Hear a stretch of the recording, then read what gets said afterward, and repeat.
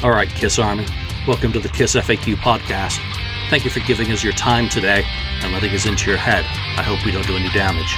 This is a Kiss related podcast by the board for the board. We hope that you enjoy.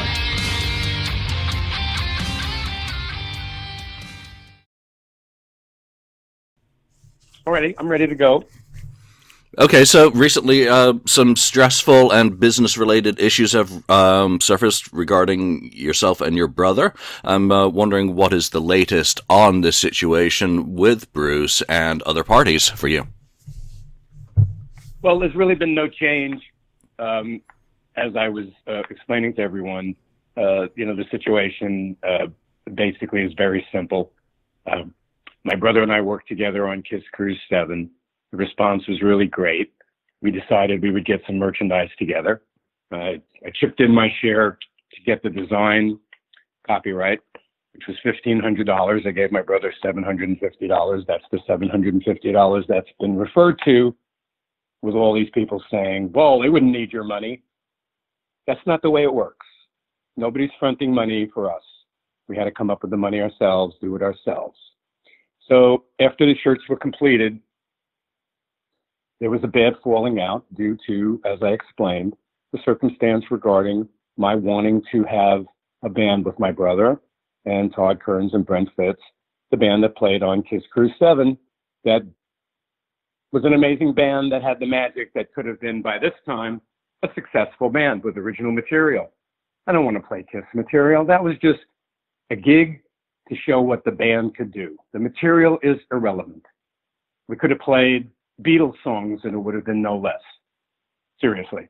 So my brother having declined playing with me and these two guys decided he would just take those two guys, Brent Fitz and Todd Kerns, and add some guy and be a band replacing me.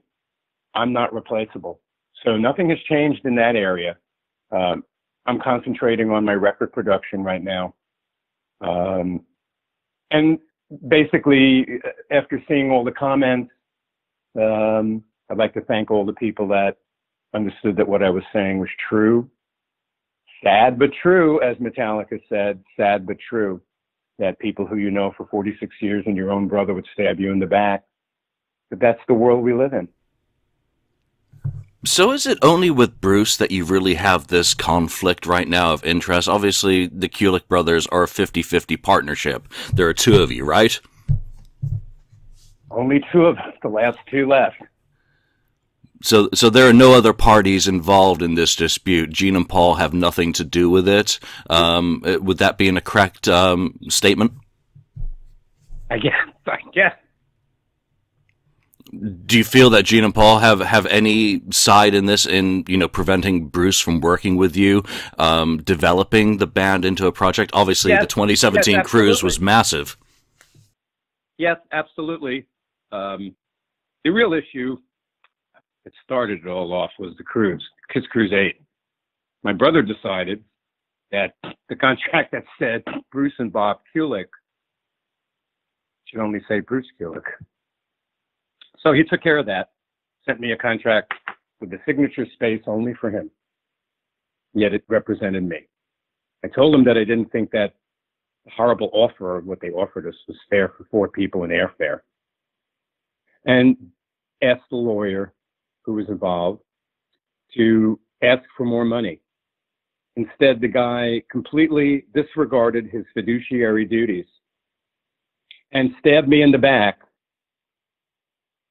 by sending me a letter saying that since Bruce was in charge and the contract was in his name, I was fired and that they were going to get somebody to replace me. My brother went to Paul Stanley and said, my brother doesn't think this is enough money. The chump change that they offered me, $3,000, $4,000. These guys make $500,000 each on this cruise. I'm not going to be insulted by their cheap offer. So Bruce went to Paul and said, my brother doesn't like the money. Paul said, fuck him, get somebody else, which he did. So are they to blame? Yes, they're to blame from the very beginning. I don't know who these people are. I don't recognize my brother anymore. He's been kissed. After being in this band for 10 or 11 years, he's nowhere near the same person. Nowhere near.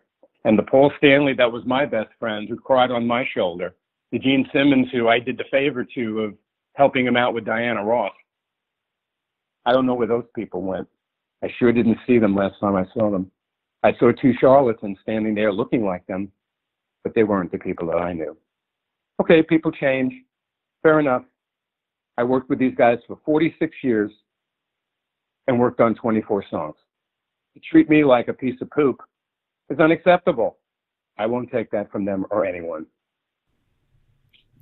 I'm curious about your relationship in this because obviously they hold the keys to the kingdom on everything that revolves around Good Planet Kiss. Um, you've all of which I want no part of. to be clear, I want no part of this band anymore. Selling everything that I have to do with this band. I have 11 platinum records without their platinum records. I have a Grammy without using anything of theirs. I have a whole career without them. This is the way those people want to treat me. I no longer want to be a part of this quote family or history or whatever you want to call it. You have no respect for the people who you uh, work with. I spoke to another one of the KISS alumni yesterday who told me how he had to put a cease and desist on one of their records because they ripped him off of his songwriting. Yeah. Everyone has a story. The guy helping Gene with the vault, he had a lovely story how he got fired and how Gene called the label and badmouthed him. Yeah, I can say all this because it's all true. It's all true. And that's the funny thing. People saying online, oh, he's making this up. You couldn't make this up. And to what end? To what end? You think I don't feel bad that my brother doesn't understand that family is more important than anything else? Not worship of Paul Stanley and Gene Simmons and the almighty dollar? Seriously, pathetic situation. But is that really a new situation? I, I'm pretty sure I read somewhere, and do correct me if I'm wrong, Bob, because I don't want to misrepresent anything about your situation. Um, back during the reunion when you were working on Humanary Stew, that you'd wanted Gene and Paul involved in that Alice Cooper tribute, and that they weren't interested in doing anything, you know, to do you a favor back, you know, even after you'd uh, done them many favors over the previous, by then, you know, 25 years. You know, is this a festering I- situation? Well, let me straighten you out first. I didn't ask them to, to sing on the Alice Cooper tribute. I asked them to sing on my album, on the Skull album, on my album, my band's album. Background okay. vocals on one song, guys. Background vocals on one song. They were both on the phone on a conference call. Well, Bob, you know, we're really big again now, and you know, we really don't feel that we could participate, you know, blah, blah, blah, blah, blah. So I went down there and played Ace Frehley on about 10 songs, three albums, four albums, Creatures of the Night, Kiss Killers, Kiss Alive 2. Then there was Paul's record, the song that I wrote with Gene on Naked City. There's a whole bunch of stuff that I've done. And it, you know, it just, it just, again, seems to me that Paul and Gene are very forgetful. You know, they don't realize who helped. I didn't have a non-disclosure agreement when I played on Kiss Alive 2 they have no signed contract. I didn't tell anybody because I'm I'm a man of my word. Paul said to me, "All right, you played on Larger Than Life and All American Man and uh, Rocking in the USA on that set of recordings. You can't tell anybody." I was like, "I I, I know, I got it. You're my friend. I'm not going to tell anybody."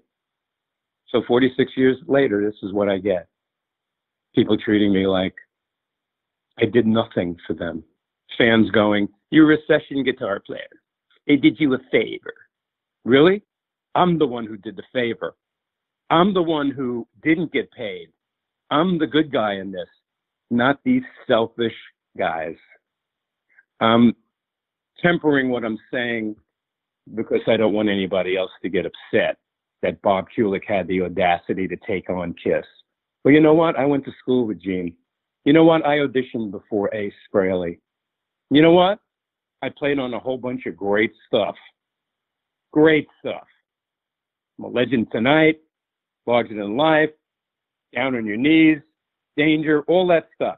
I didn't make a big fuss about playing on some of the stuff because they were minuscule solos. But now that everybody's like, well, what did you ever do? You're just a session guitar player for them. Really?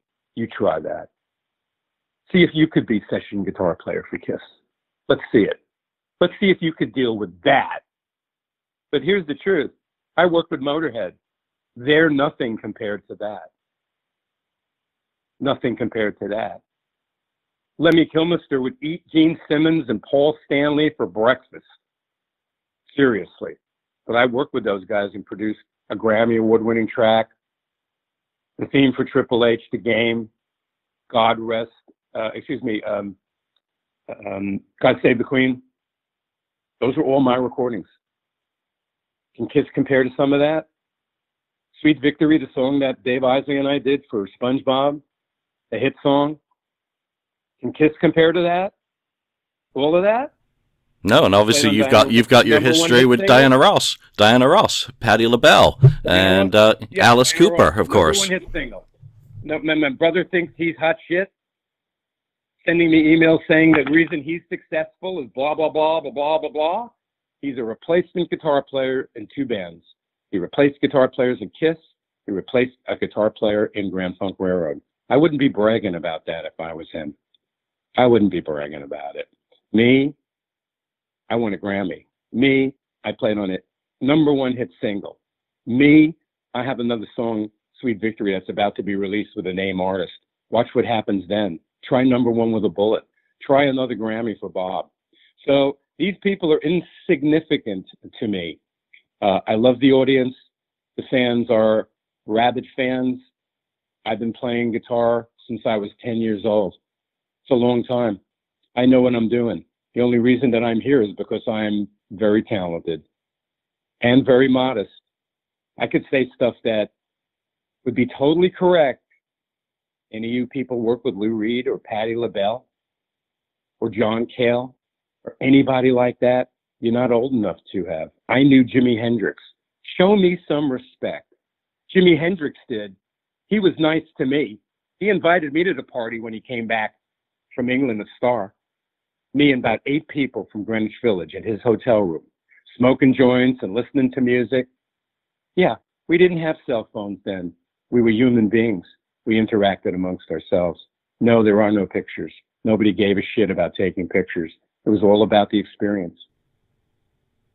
No, and I don't think anyone's going to question your resume, Bob, in any way, or question your opinions no, or your, your people, history. People have questioned it. You're nobody. You're an old man has been. You're a session guitar player. Incorrect. I may be old, but that's incorrect. I'm as old as Gene and Paul, so if they're old, I'm old. Okay?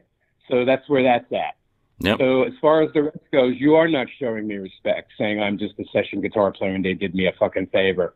I did them the fucking favor. Let's get this straight. I did the favor, not them. They didn't call anybody else. They called me. Kiss Alive 2. Kiss Killers, Preachers. I'm, I'm curious about this these these favors that you did for them. Obviously, you were the guy who came into those sessions. Were you paid for right, those sessions, or or, or, was was it strictly as a favor that uh, you came in, you played, you stayed quiet for decades about contributing to those albums? Um, but were you paid for that work, or for say session work, doing demos like Mr. Speed, which was on the box set? Well, I'll give you the example of Mr. Speed. So back in the day, you know, Gina Paul would call like, "We're working up this song today. You want to come by and play some guitar and stuff? Hang."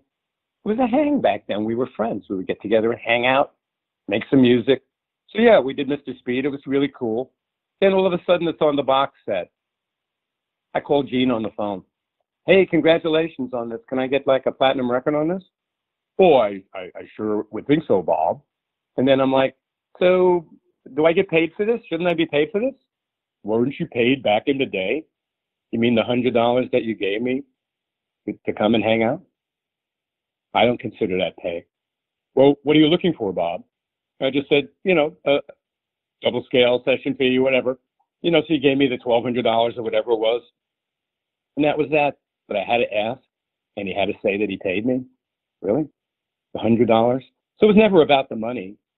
Uh, you know, Creatures of the Night, um, Partners in Crime were both done at the same time. If I made three thousand or four thousand dollars for that whole week or ten days I was there, that would have been a lot. They didn't pay. They, they, it was basically union double scale, Kiss Alive 2 union double scale. And me, I'm not one of those guitar players and musicians that makes it last longer so they could make money. When I'm on, I'm on, and that's it. It might take five minutes, it might take five hours. You don't know. But the reality is, those solos were done very quickly, very quickly. Because whatever they didn't like, I replaced. And after trying to sound like Ace, I realized that I really couldn't sound like Ace. His style is different than mine.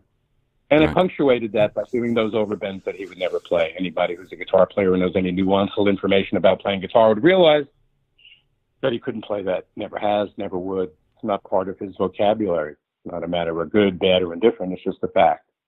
So I played on those records, helped help cement his guitar hero status with some really good solos, and went on to be shunned by the band. Here's your thanks for helping us out on all those songs. So when we got up and played them on Kiss Cruise 7, yeah, they went nuts. Yeah, they went nuts. As well they should. Nowhere to run. Wow. I listened to it. It wasn't good. It was magic. And that's the real disappointment that these three musicians didn't realize that that was the magic band. That Bruce and I, with Todd and uh, Brent Fitz, that that was the magic right there. And Todd and Brent wasting their time playing with Slash as backup players. What's going to happen to them in 30 years? I used to play guitar. Uh, excuse me. I used to play bass for Slash. Yeah, and and there was a chance to have a band. These guys fucked it up. So I'm over it.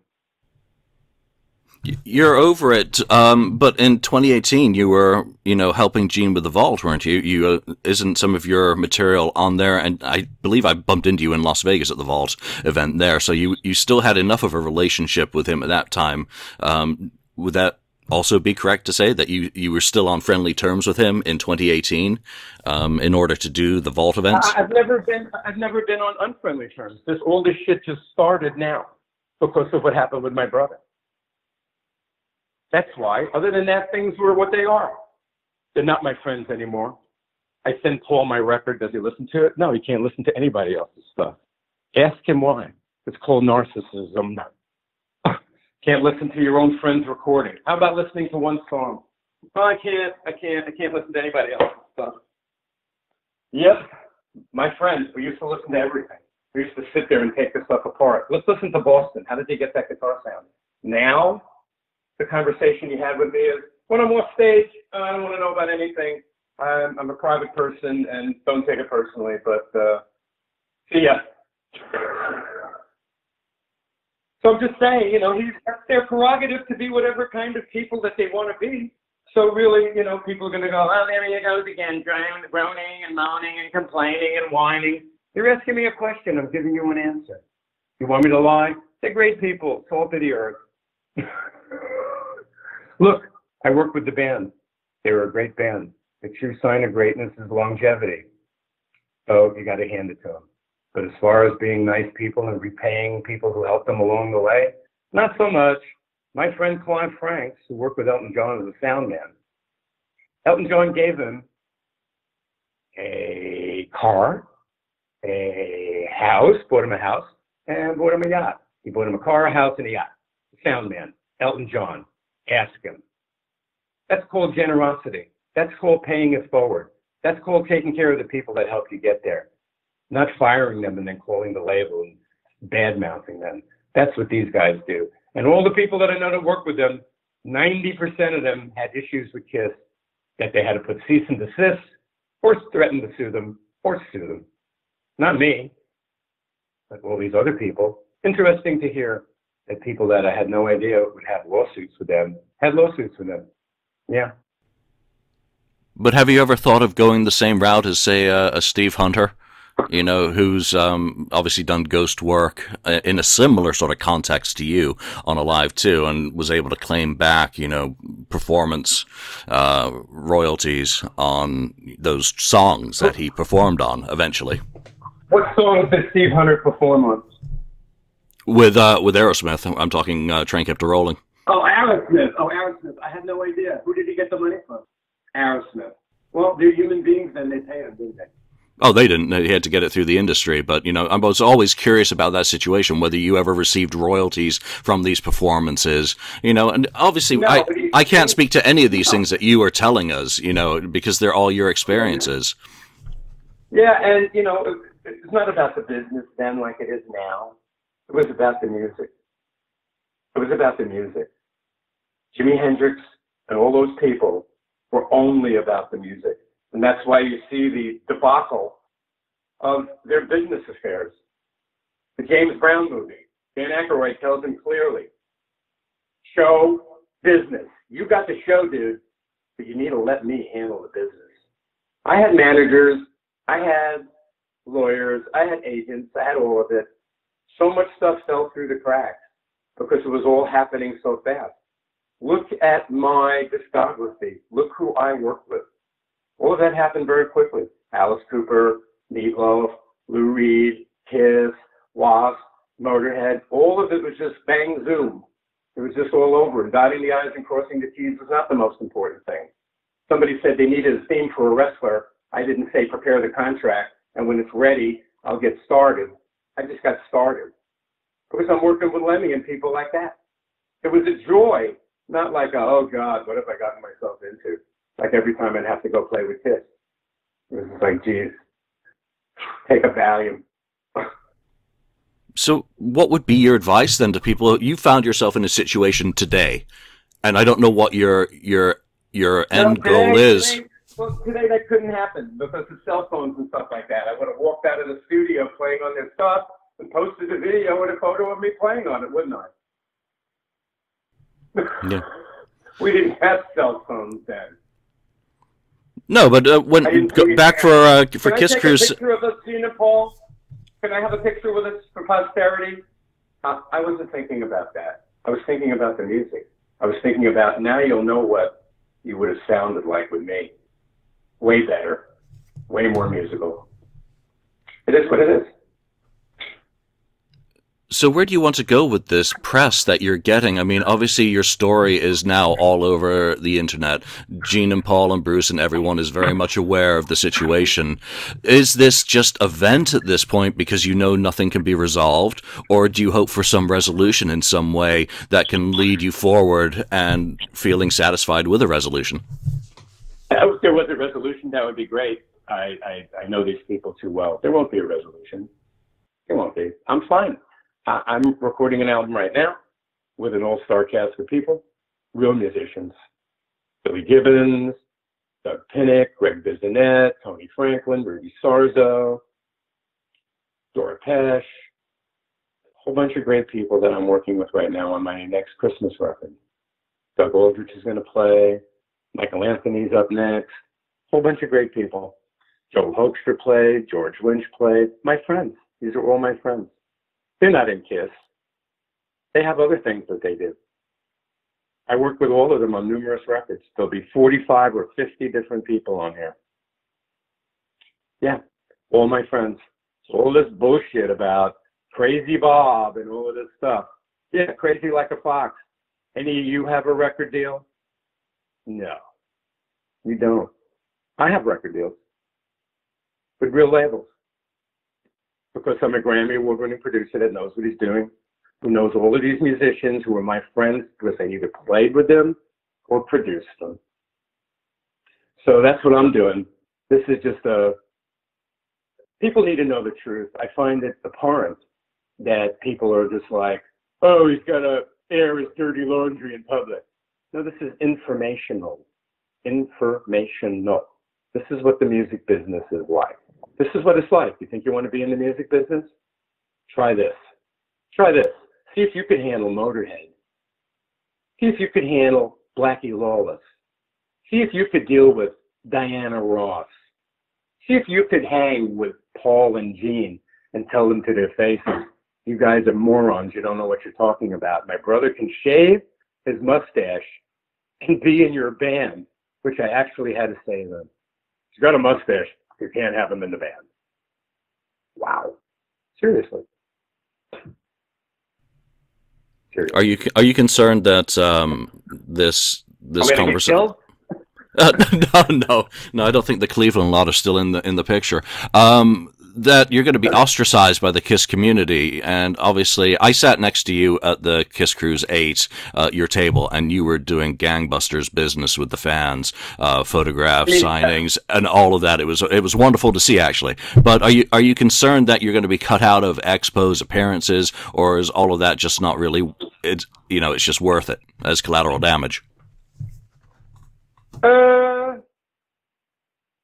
uh, you know, again, I, I love the fans in the audience. The, the fact that they would spend time either writing stuff that was insulting or, or writing stuff that was flattering. I'm a big fan of yours.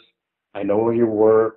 I feel bad that this has happened to you. There was a lot of that. There was a lot of people writing that. I stopped looking after a while. I mean, I produced that Sinatra record. I did metal versions of Sinatra songs using the best singers on the planet Glenn Hughes, Devin Townsend, uh, Joey Belladonna, Robin Zander, Dee Snider, Doug Pinnick. These were the singers on that record. I saw reviews for this. Somebody said, you got to go see the review of Devin Townsend's version of New York, New York. So I went to the page, and there it was. Comment, greatest version of New York, New York ever. I was like, wow, that's that's so amazing to see somebody write that. Made me feel like a million dollars. The next comment, whoever did this should be shot. okay, so I see, I, I see what I'm dealing with here. Don't look. The comments that are flattering, I don't need anybody to tell me that I'm good. The proof's in the pudding. The millions of records that I was involved in that sold. I don't need anybody to go, yeah, you know what? You can play. I know that. And I'm not saying that in an egotistical way, all those comments. He's so egotistical. All he does is talk about himself. Well, if I'm doing the interview, who am I going to talk about? You want me to talk about Donald Trump? What do you want me to talk about? No, anyway, in, the, in, in the music business, you have to be egotistical anyway because of what you're doing. So I I, I don't understand well, where that, that would be coming combination, from.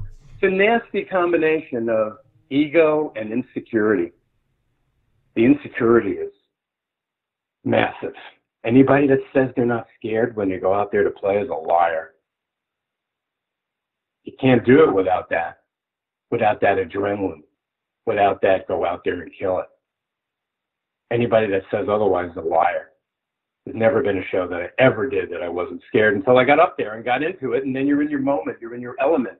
This is what you do. But like a baseball player, you have no idea what's going to happen. No idea. Now, as opposed to the old days, I fell on my ass on the stage. There's no video of it. I tripped over a monitor playing a big place with Meatloaf. Blammo, down I went like a ton of bricks. There's no video or photos of that. Now, now, there'd be 20 versions of it. Here's the front view. Look at his face. Oh, here's where his head hits the stage. Seriously. Get up there and play now with people not interested in the music, interested in photo bombing themselves in the band. Here I am in front of the band. That's not the way to watch music. Guys playing with inner ears. It's not the way to make music. It's all changed. I'm old school, I guess. But I'll tell you this, all of the recordings that I did back in the day, none of them needed fixing. I have them all now. Dealing with all of that now. All of those people who are no longer with us that I recorded. Lemmy, Ronnie Dio, Jimmy Bain, Randy Castillo, Clarence Clemons, Pat Torpey, Ronnie Montrose. All those people are gone. They're on all these recordings that I did back in the day. Their performances are organic performances. Nobody chopped up Pat Torpey or Randy Castillo's drums and made them work. Nobody had to fix Ronnie Montrose's solo. They didn't. Nobody had to have Lemmy sing 10 times to make a comp of it, or Ronnie, one take Charlie. Want to do one more for shits and giggles? Other than that, put that up on the grid now. Listen to those notes. They don't need fixing. Talent. Now everybody's like, can you fix that? Can you fix that? Can you move that? Not real music. No. It's not. It's not like the, the old days where people played organically You either had it or you didn't. Period. Now what I see is nothing but shit and piss. That's what I see. Are there great artists out there? Yeah. And Lady Gaga and people like that are as great as anybody that ever did it. She's got the magic, that one. There's a few that have the magic. Metallica still got the magic. There's some bands out there that still have the magic, but most of it, the oldies routine, it's so sad. It's really sad. I don't want to get up there and play in an oldies band. I don't. I prefer being in the studio with my friends. But would uh, the Kulick brothers have been able to have toured together, you know, fiscally, um, you know, would the finances have worked in this day and age to take that out on the road? If you look at that Ace can't pull more than a few hundred into clubs these days, was was that a concern for you that it was not really viable? And I don't know one way or the other. I no, it was vi- no. Au, au contraire, it was viable because we had offers. I have a representative in Europe, and he had viable offers on the table. I spoke to several labels, and they were amenable. Uh, you guys want to record the set that you did on the boat? We could just record that and put that out. Okay, well, that's an option. How about some original material? How about, you know, the options were open.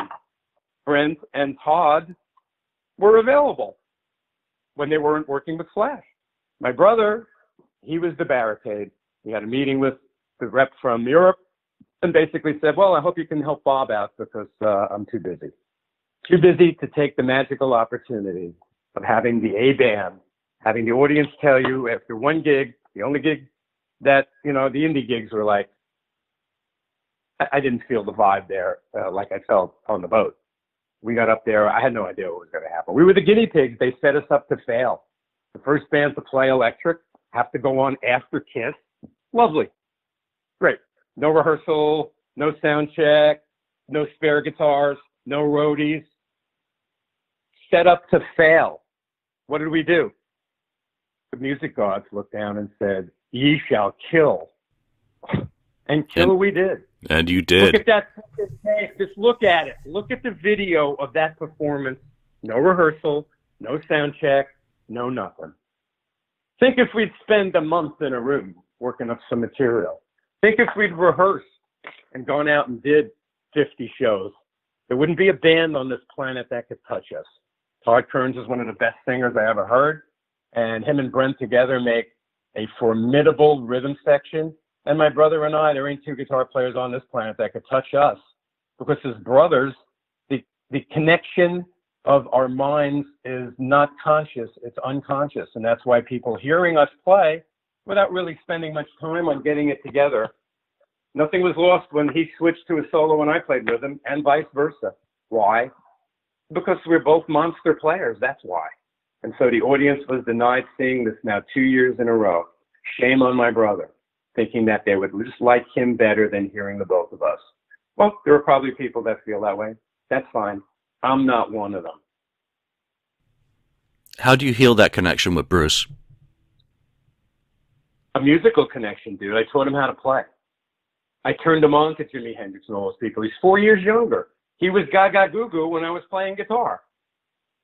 I was in Greenwich Village hanging out with Jimi Hendrix and Peppy Castro and James Taylor and Danny Kootch and John Sebastian and the guys that were in the village in 1968 when I was 18 years old. My brother was 14. He was home Gaga Goo Goo. He never saw any of that. All, all he did was hear about it from me. I don't know anybody that's upset with me. I just happened to be around I was lucky to be in the right place at the right time. If I didn't live in New York, none of that would have happened. Wouldn't have gone to the same high school as Jane, wouldn't have met Jimi Hendrix, none of that would have happened. But this is what happened, and it's not an accident. It's design it's divine design. Divine design. I know you said on the Metal Voice on an interview that you did with them that now that your parents have, are gone, your mom uh, wouldn't have been very happy with this situation between you and Bruce. Um, I, I, think what fans like me would really like to know, Bob, is how do you, how does the relationship with Bruce get healed and repaired after all of this? It's a good question. You have to ask him since he no longer allows me to speak to him by having a restraining order and very distasteful Uh, I'm a really open, kind, sharing person. Uh, possessions don't mean that much, much to me. I've moved so many times. I just move on. But my brother has a, a bunch of things that uh, are very personal to me. Uh, my toys as a child. Um, I never did get to see my parents' wills. And I uh, gave him one of my Les Pauls back in the day for like a thousand dollars. This is uh, here. Have something that you can sink your teeth into. This is a really great guitar. And the guitar's worth probably a hundred thousand dollars now. Has he given me an extra penny? No. Mutt Lange bought a guitar from Billy Duffy. Uh, old Les Paul, you know, gave him four thousand dollars. The guitar turned out to be worth like two hundred thousand dollars. Mutt Lange gave him the difference.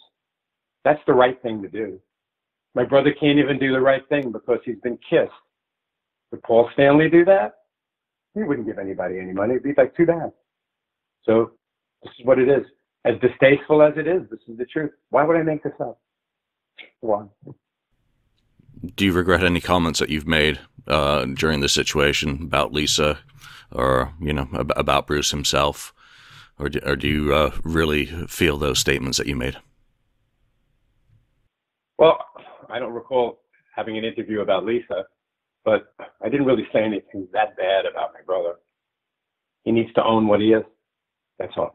It's a brutal business, so let's give him the excuse. It's a brutal business, and literally everybody out there is fighting for their lives. The big joke is everybody thinks that people like him or me or whatever are rich.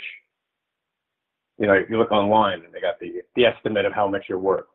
Oh, he's worth $2.3 million. Oh, he's worth $4.8 million. You know how they come up with that figure? They just make it up. Yep. Donald Trump's right about that. There is fake news. There is fake news on all sides. For me to have to read shit about me, that's like, well, that's totally untrue. If I'm an old man, how is it I can play on a, a A men's division league softball team? I'm an in shape guy. Like I was talking to Doug Pinnick the other day. Here's a guy, 0% body fat. He just sang on my Christmas record. A phenomenal artist. He's my age. He's Gene's age. He's Paul's age. 0% body fat. 6'1, 136 pounds, Doug Pinnick. Superstar. God. The guy's a god. You hear him sing now? He sings better now than he ever did. So some people, they just have the magic. But as far as being old, Gene and Paul are old then. So how come? What's the difference between me and them? I I don't, you know, I didn't say anything about Lisa in any of these interviews. So you know, if if there was something that was said in a personal comment to somebody online on a night where I had to read stuff that I really didn't want to read, you know, people's lack of understanding of anything. Like, well, why didn't you get a lawyer first? I was dealing with my brother. Do I really need a lawyer to get, to make T-shirts with my brother? Well, How come you didn't sign the contract first? I didn't think it was necessary under the circumstances. I know better now. This is the second time that my brother approved of something in paper, on paper, Kiss Cruise committing me to something that I had no signature uh, to add to the contract. And then this, allowing people to use the merchandise without any signature from me or any payment or statement. And yet I chipped in to help get the copyright to do the actual t-shirts. People online, oh, he didn't give him $750. They wouldn't need his $750. What do you know about it? That's the way it works. Just being honest. I'll post the payment to my brother if people want to see it. I have it. I just thought that would be distasteful to have to do that, but that's what people want. You know, I don't really want to fight about this. I just want the truth to be known. That's all. The truth is the truth. I, I'm sorry. I'm sorry. Franklin Delano Roosevelt evidently knew that the Japanese were going to attack Pearl Harbor. I argued with Lemmy about this. He knew 15 years ago. Now they made a movie about it. Did you know that? Um, Franklin Delano Roosevelt knew that the Japanese were going to attack Pearl Harbor? Yeah, it's been discussed. They made a movie about it now. Yeah, years years ago there was a, a documentary about how much he knew beforehand. Yeah. So yeah, and Lemmy let me tell me this 15 years ago and showed it to me in a book. I was like, really? So do we really ever know what's going on? No. And that's why most people making comments, you know what? learn from this. Respect your family. Value your brothers and your sisters and your parents. They're the only ones you have. My brother, unfortunately, taken a turn to the dark side. Why? I blame Paul and Gene. What what the real reason is, you'd have to ask them. But I begged. I said, you know, this this gets out. People are not going to look favorably upon this. We need to bury the hatchet. We never play again. I don't care. But we should at least make a an attempt to be uh, brothers. He Well, showed Bob- me how he felt about with the police calling me on the phone and then coming to the door and giving me a restraining order with the guy saying, "Sorry, here's a restraining order from your brother. By the way, I'm a big fan of yours. Thanks, appreciate it." That's what happened. I guess from now on, since we live in this age, I should video all of it, then I can put that up. so listen, I got to go to the studio and make some music. Good. Um, Go make some music, Bob, and, and when you've got something to release, I want to talk to you again. Okay? absolutely. Thank you for spending time listening to the Kiss FAQ podcast today. All sales are final, there are no refunds.